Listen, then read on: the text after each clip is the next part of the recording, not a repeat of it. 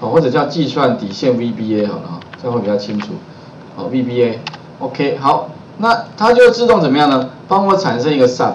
那有效范围部分哈，其实有没有加 public 或者有没有加 private，其实在这边没有任啊，基本上没有影响，因为我们没有不会被其他的那个城市呼叫的话，基本上 public 跟 private 其实没有差别。OK，那我们用预设的，用 public 按确定，你会发现它只是帮我们做什么？做帮我打上去的动作。那当然你可以自己打上去啦。有时候我习惯怎么样呢？我自实际自己习惯打上 sub，然后后面加上什么？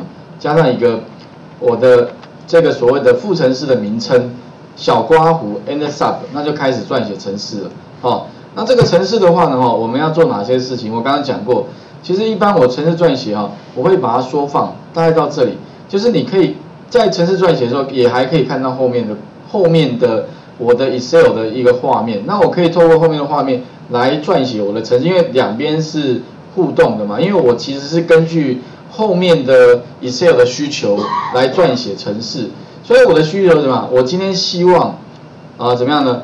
在第这个 B 四的储存格一直到 B 五十九储存里面呢，怎么样下公式？对，那公式里面会有变的部分是四到五十九列，所以我可以这样打，就是说第一个先打一个 for 回圈，那打 for 回圈之前，请你按一个 tab 了，啊，因为这地方是一个缩排，按一个 tab，然后打一个 for。for 什么呢？i 的话是一个变数，等于四到五十九，好，那特别注意就是说 enter enter，for 有 for 一定会有 next，好，那这里特别注意哦，这个 i 是一个变数，可是在那个别的程式设计语法里面是要去宣告的，可是，在 VBA 里面哈很方便一点，就是说它完全不需要宣告，也就可以使用，所以 VBA 里面没有宣告还是可以哦，还是可以。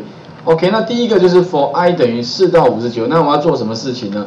就是要帮我把这个格子里面的东西怎么样呢？把它输入一个公式。公式的话就是我刚刚讲的那个公式，就是我们的 B one 要乘上一加上利率，哦，然后呢再来就是几次方是上面 B 三的位置。所以接下来的话我就把这个公式，那特别注意就是接下来就是你的物件名称，好，物件名称。如果我今天要针对什么呢？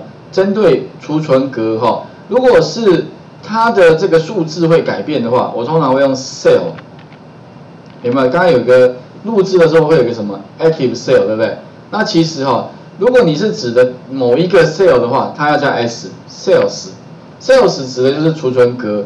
刮胡之后哈，你会发现它一定会跳出提示，sales 是指的是哪个储存？那后面给它什么？第一个是 row index，就是你哪一列。好，哪一列？然后再来的话呢，就是哪一栏？那哪一列呢？其实哈，这个列的号，因为我们会四到五十九，所以其实你这边给它 i 就可以了。